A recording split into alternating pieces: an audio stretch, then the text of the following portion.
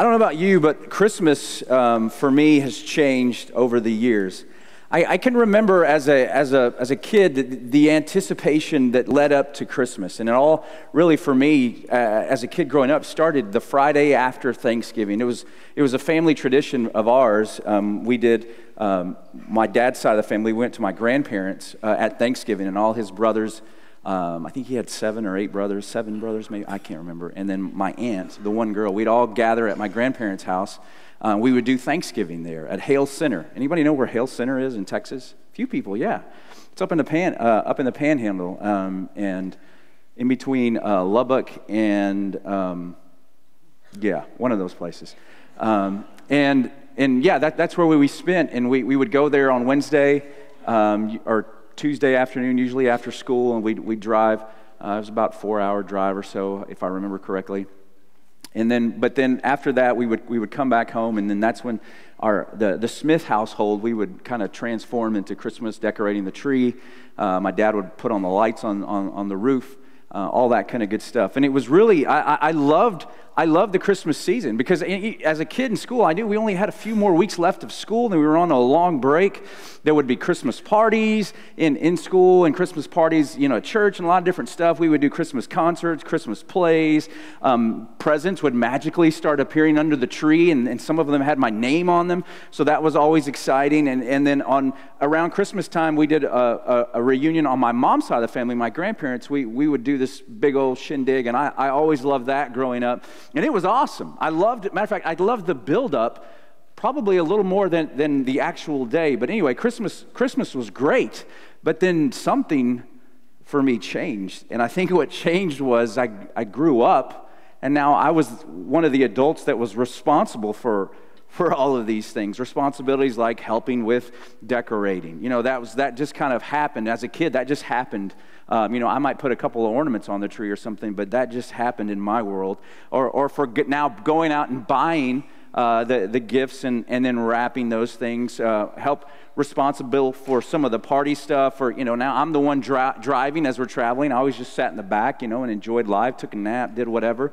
But now I'm driving and we're helping out when our, our kids are kind of past this stage now but when, you know, when they were doing parties and stuff we would, we would help out with those and plan those and we'd go to concert and just kind of on and on. But and the reality is is that as a kid i never even thought about those things. Those were just those were just parts of christmas and i was excited about those things. And, and but as an adult you know now it, I, i'm on a, on a different side and, and all of a sudden it, it's not as as fun as it used to be but don't get me wrong, I, I still love Christmas, and it's, it's still my favorite time of the year, right behind when, when football season starts. That's really my favorite time of the year. Uh, we need more trees and carols and things for that. Um, but, but, but Christmas is, is really one of my favorite times of the year, and I'm probably, I'm probably not alone when I say this, but sometimes when I think about December, I just kind of give it one of these. It's, a, it's a little bit of a, a, sigh, and, and I know, and I know that's, that's, that's a horrible way to think. And I also sigh, I also give it one of those sighs around October when the Hallmark Channel starts showing nonstop Christmas shows that all have the same plot, the same characters, same love story. Because here's the deal when Hallmark starts showing those shows in October, they stop showing the Golden Girls and I can't see the Golden Girls until January. And the Golden Girls is, is how we fall asleep in our household. So uh, my, my rhythm's all, all, all off. So, but anyway, for some of us, busy isn't just something that comes around once a year at Christmas. It's, it feels like it's just all year long. And, and we feel like our lives can, can sometimes just be one big, one big sigh because we're, you know, we're running from meeting to a meeting, from class to class, from event event to event, from game to game, concert to we're just kind of all over the place, and we feel like we never get a chance just to take a breath, to to take a break, or or even just to, to take a nap. In in a busy life, you know this. A busy life can be exhausting. It can be stressful. Um, it can it can just kind of suck the joy right out of life. And some of you feel this weight uh, a lot. And, and it just seems to, to get a little heavier at Christmas because, on top of the normal busyness that you have in life, then you get all the, the, the crazy of Christmas. But I, I want to let you in on a little secret. Um, that's really not how God intended for you and I to live.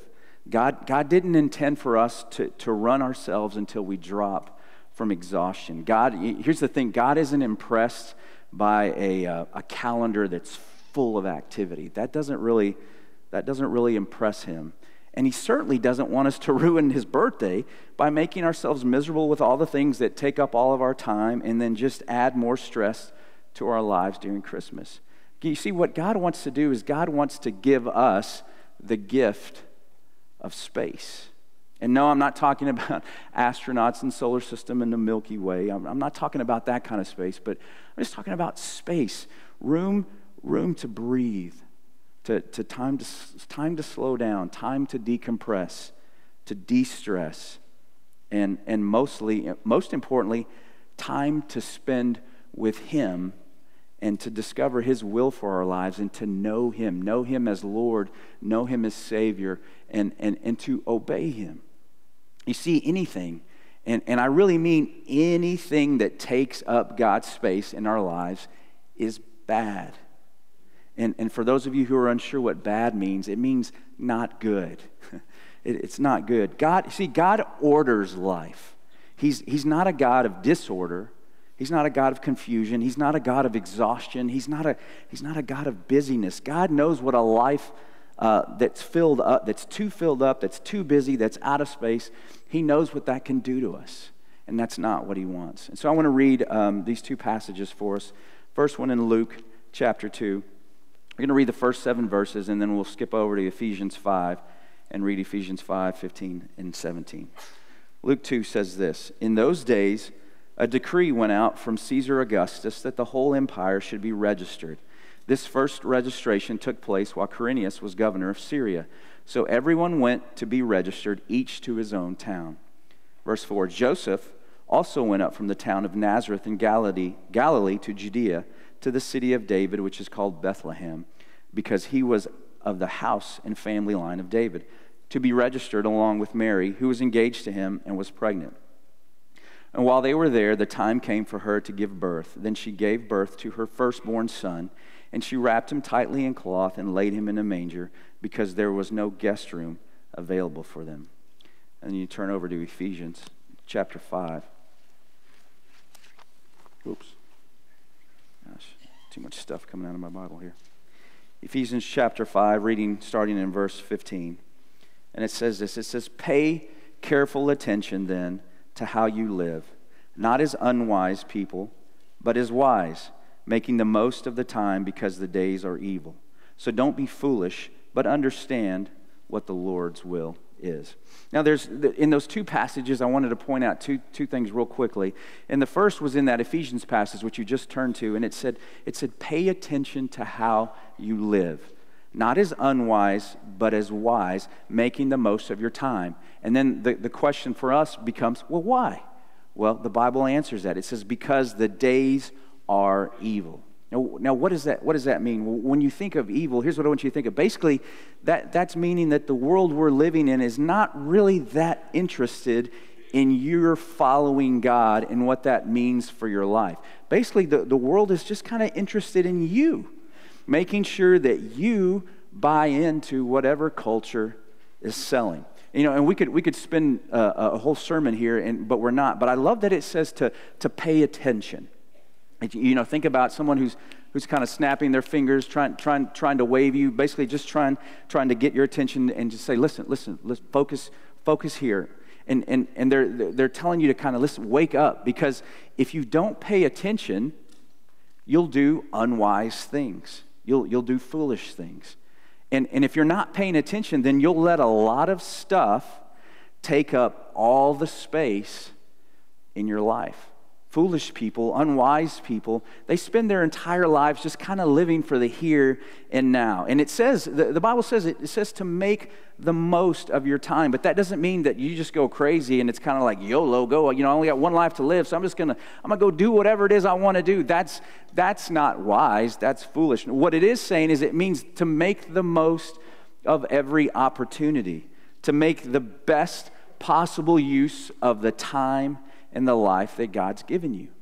And if you're not paying attention, you'll, you'll let your calendar get filled up and you'll have, you'll have no room for God, which takes us back to to, to the Luke passage in, in verse 7 where it says, There was no guest room available for them. They were, they were all filled up, and there, there was no, there really was no space for, for Jesus um, in that place. And, and I think sometimes, not always, but I think in, in some stories and in some plays, the innkeeper can kind of get a bad rap.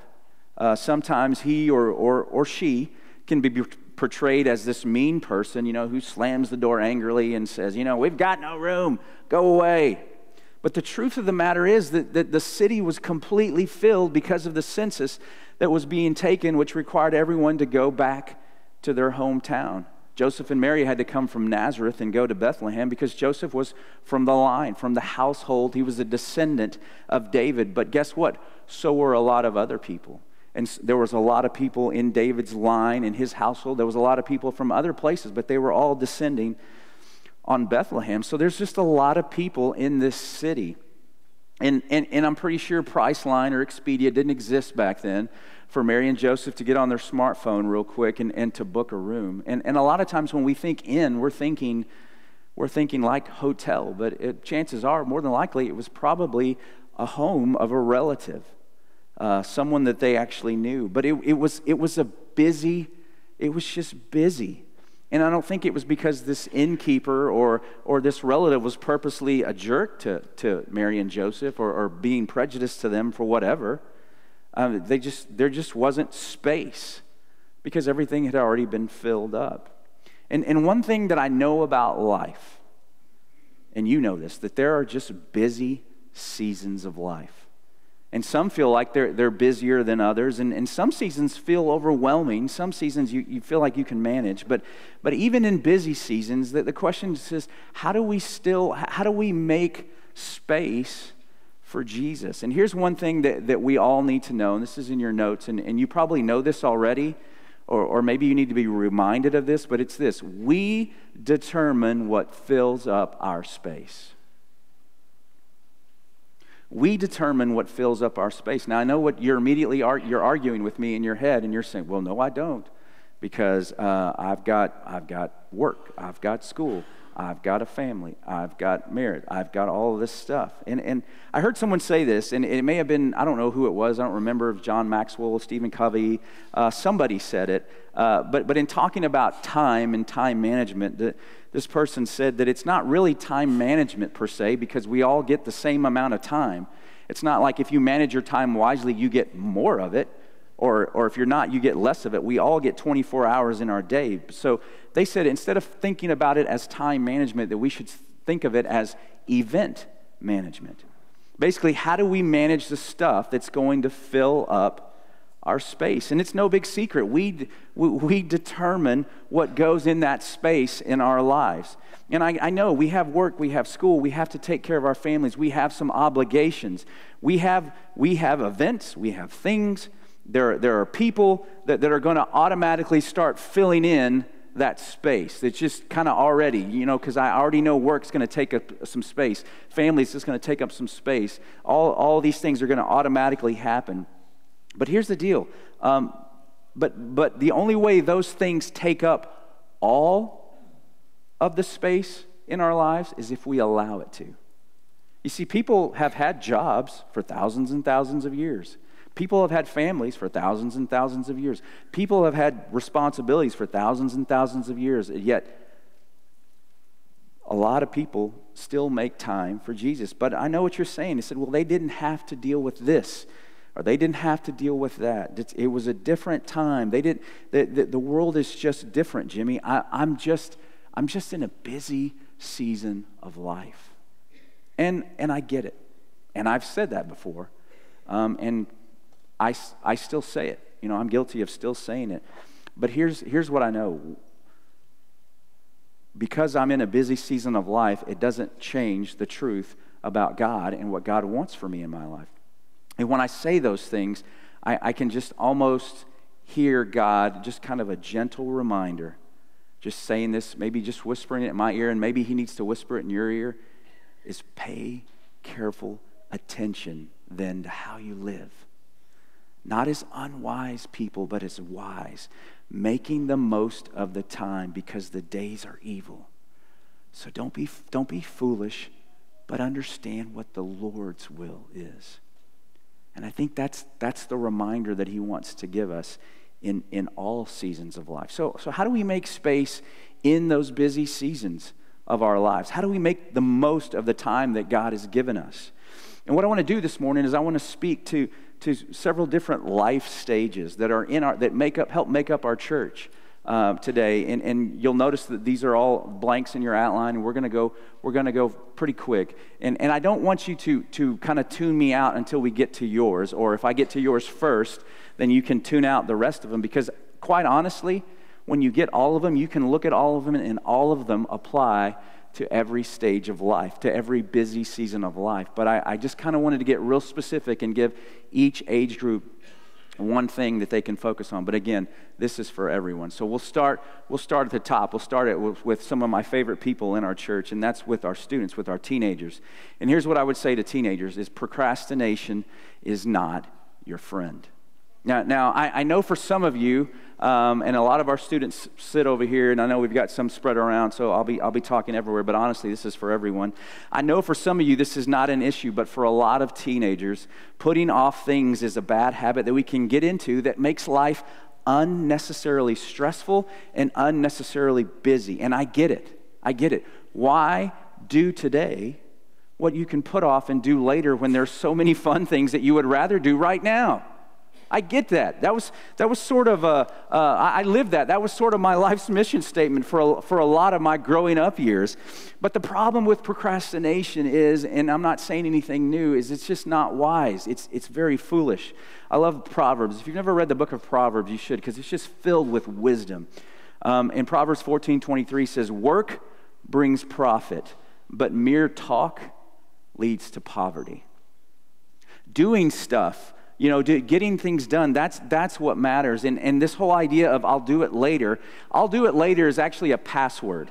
And it's a password that opens up the door to a life of unwanted stress. And the problem with procrastination is, is what can be done in, in, in small chunks, if ignored long enough, will end up being one giant chunk to deal with. And then you multiply that by four or five things that, that we put off, and, and now we've got this massive issue that can no longer be ignored. And, and what happens is when we have all of these things that we've ignored, then we've got to make space for us to deal with this. And what ends up happening is God gets pushed out of his space in our lives so that we can deal with this issue that we've created. And so we say things like, I don't have time for God because there's so much that I have to do. So procrastination is not your friend. Parents of preschoolers, um, here's one for you. Decide now what will be your non negotiables. Decide now what will be your non negotiables. We do, I, I, I think um, a lot of parents of preschool, and there may be more things out there than, than this book, but we do a lot of, and I know there is, but we do a lot of what to expect when you're expecting. But then somehow, when, when, when that baby comes, it, it, it shifts things in our lives. And, and we go from what to expect from to when you're expecting to, I'm, I, I, my world will, will revolve around this, this little thing, and, and I'm going to capture every moment of their life, and I'm going to blog about it and take pictures of it and put posts about it. Uh, I'm going to protect them from every microscopic germ that might just come into this world, and, and, and no one can tell me anything because uh, this is the first baby that's ever walked on the face of this earth, and so I have to, I have to do it my, way, you know, and we just get, we get real panicked. And that's not everybody, and, and that's kind of an exaggeration, but you get the idea. It's just that everything then just kind of becomes about this child. And I know I've been there. I've been there. But here's the deal. Um, I, I think one of the first questions that we need to ask as parents of preschoolers is this is what type of person do I want them to be when they're all grown up? You see, as, as parents, as new parents, what we have to do is we have to begin with the end in mind. Wait, what, what type of, what type of, now, again, I didn't say what are they going to be when they grow up, because I think that's one of the things that we look at. Oh man, I've got, a, I've got an athlete right here. Look at that. Or look at this, I've got a brainiac. Or look at this, this is going to be a model. And we, we have no idea. We have no idea what, what this little person is, is, is going to become. But one of the things that we can start asking is, is what do I want them to be when they grow up? And what can I do now to help foster that in their lives? Joshua 24, 15 says this But if it doesn't please you to worship the Lord, choose, your, choose for yourselves today which will you worship? The gods your fathers worship beyond the Euphrates River, or the gods of the Amorites in whose land you're living? But it says this As for me and my family, we will worship the Lord.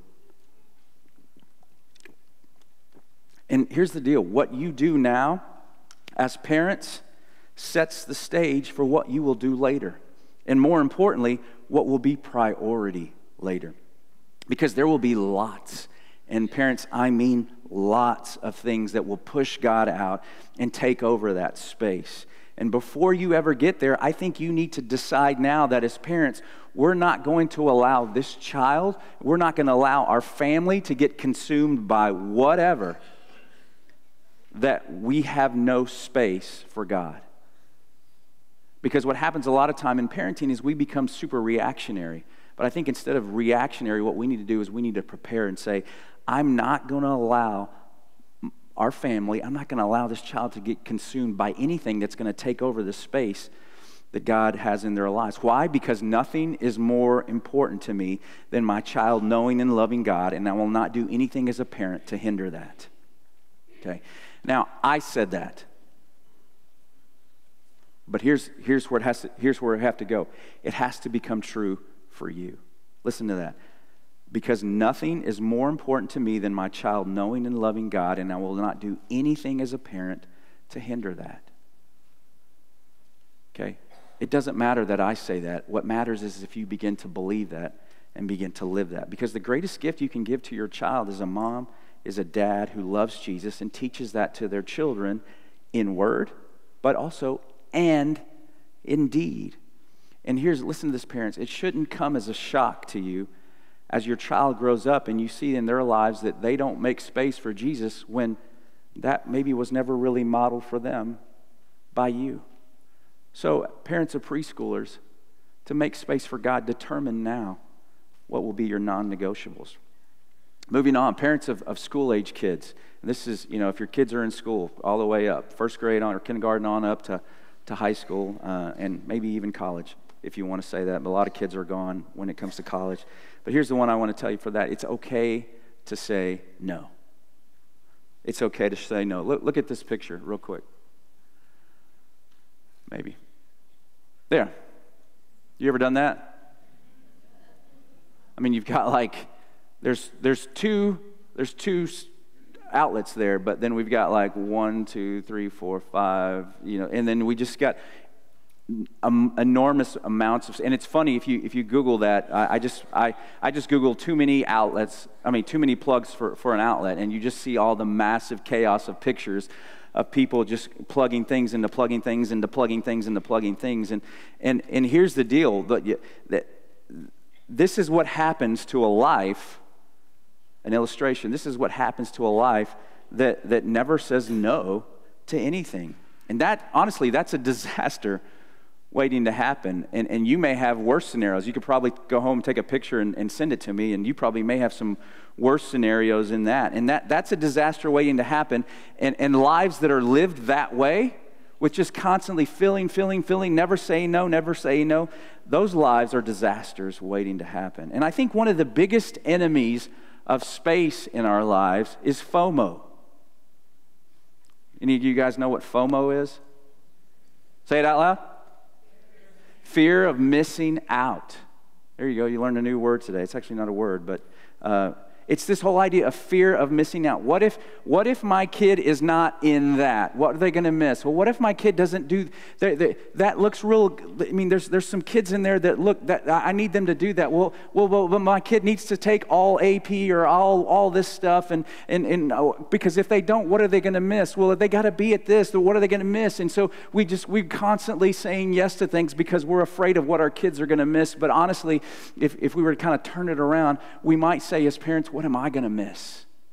What am I what are people going to say about me if I'm not in this, or my kids aren't in this. Well, my kids aren't doing it. Well, why don't your kids do this? Well, what's going on? Why, why all this? You're not a part. And, and so it's this, this fear we have. And so we feel like that we have to kind of push our kids into things and we have to keep pushing and pushing and pushing. And meanwhile, all of our pushing, what we're doing is we're creating kids that are overstressed, kids that are overbooked, kids that, that don't know how to deal with life because so much stuff is on their plates. And, and it's okay to say no. Romans 12, uh, 2 says this, and do not be conformed to this world any longer with its superficial values and customs but be transformed and progressively changed as you mature spiritually by the renewing of your mind, focusing on godly values and ethical attitudes, so that you may prove for yourselves what the will of God is, that which is good and acceptable and perfect in His plan and purpose for you. And I, this is one of my favorite verses of all times because this, is, this is message is, is simple, but it is so powerful. The reason that we don't, we, we don't have to worry about FOMO, about fear of missing out, the reason why we're, we don't conform to the world is because if we're busy conforming, then we can't be transforming. And transformation leads to discovering God's will for our lives. If you're busy conforming, then you can't be transforming. Transforming from a mindset of, you know what, I'm going to fill up all this space because I don't want my kids to miss out. I don't want us to miss out. You're, you're transforming from that kind of attitude to kind of dying to the calendar and saying, God, what, how do you want to fill up this space? You see, the world says you got to say yes or you'll miss out. God says that if you say yes to the world, then you won't have space for me. And imagine now the, the space, and, and some of you could do this, and you're probably already thinking some things, but imagine now the space that you would have in your life if you said no to some of the things right now that are in your life that you've already said yes to. And if you were honest about some of that stuff, it was it seemed really important at the time that you said yes, but ultimately it was just something that ends up eating your time and causing you stress. So it's okay. I want to give you permission from here to say no. Uh, single adults, moving on. Here's what I would say to single adults bouts of loneliness will compete for space. And again, I, I say this, um, and, and all of these apply, not just to, to these particular groups I'm talking to, they apply to all of us. Bouts of loneliness will compete for space. In, in talking about this or getting ready for this, I, I, I reached out to uh, several several single adults, um, and, and, one, and a common word that kept coming up in my conversations uh, with them was, was loneliness. And it, it's not that loneliness consumed every waking moment of their lives. I mean, it's not a, oh, poor me. It, it wasn't that. And, and it's not that they were saying that, that being single was bad, but the, the theme was, but there are times where those waves of loneliness come in, and what single adults have to be careful of is they have to be careful that they don't let that loneliness cause them to fill up the space and, and fill up their calendars so that they, they, they, they can avoid something. And sometimes what, what gets filled up in that space is not just activity, but uh, the, one of the things that they mentioned was that, that space can get filled up with, with self pity. And honestly, it's no matter if you're single or married or, or, or somewhere in between, uh, emotional decision making doesn't always lead to wise decisions. Lamentations 3 22 and 23 says, Because of the Lord's great love, we are not consumed, for his compassions never fail.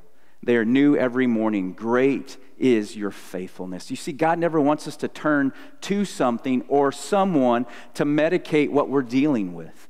God's compassion, it never fails. And filling a calendar because we want to avoid some type of negative emotion is not a cure. More, it's, it's sort of a band aid on a bigger issue.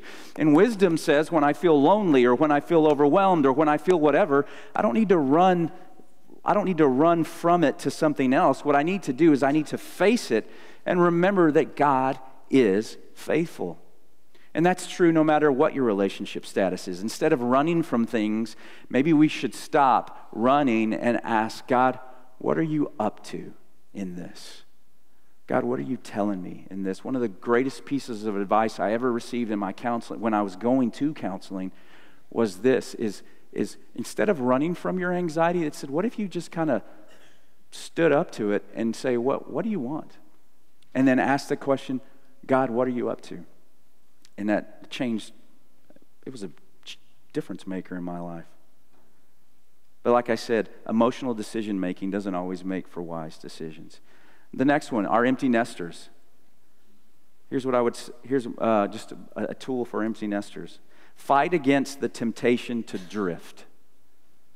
Fight against the temptation to drift. One of the, well, the, the, the trends that, that we see is, is that when kids leave home and the nest is empty, mom and dad suddenly realized that their connection to church really was their kids. And you see this in marriages too. A lot of times you, you, you talk about, uh, uh, like, one of the terms is, is, is gray divorce, and, and it's because once the kids leave the home and, and the parents are older, it's like, okay, well, the only thing we really had in common were our kids, and I don't really know you, and I don't know you, and, and so, like, why, why, why are we married? You know, one of the reasons why adults get back, come back into church a lot of times is when they start to have kids. Because all of a sudden, the, the church becomes this priority again. And then uh, a reason why a lot of adults leave the church is because of their kids. And the tendency becomes to attend less and less because there's not a real, uh, a real or, or a strong connection. And on top of that, now as an empty nester, you kind of already have built in reasons built-in reasons to kind of to, to, to fill up your space because now you've got time to travel you've got some you know some discretionary money you're, you're going to go see your kids now you're going to go see your grandkids. And, and what happens and it's often unintentionally but empty nesters can become disconnected to the things of god to, to god's family. And, and, and you know how this goes. Once you feel disconnected then it's just easier and easier to stop being a part of those things. It gets easier to be somewhere else than to be where you know you should be. And again, I don't think it's always intentional, it's, it's a season of life.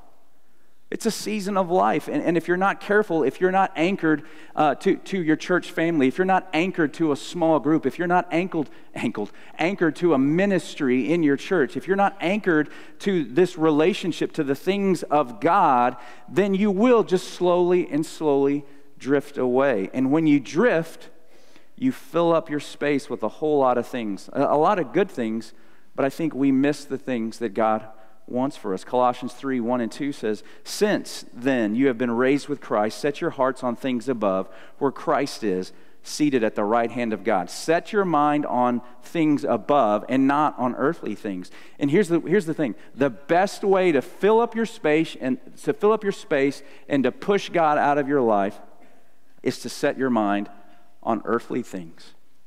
Our relationship with God should change it should change our perspectives. It should change our priorities. It should change our goals. It should change our motivations. I mean, literally, it should change who we are. And no matter what stage of life you're in, no matter how busy your season of life gets, the way to kind of anchor yourself is to always look up and look up to God. Senior adults, I was getting to you. You knew I was coming. Here's the thing I would say to senior adults, and that's this. And again, this applies to everyone. Don't, your age doesn't minimize your influence. You know what the temptation is for a lot of older adults? It's to assume that their space no longer matters. So I'll just fill it up with whatever I want to fill it up with. Um, because, you know, in, in, in, in the church world or in God's world, I'm, I'm kind of too old to, to do some things, too old to teach, too old to minister, too old to go on trips, too old to, to minister to kids or to students. I'm too old to, to talk to young adults because I'm out of touch. I, am too old. And, and, and I, want, I want our older adults to hear something. Physically, physically, you may not be able to do some of the things that you used to do, but you're never too old to be used by God. And let me say it this way you're never too young to be used by God.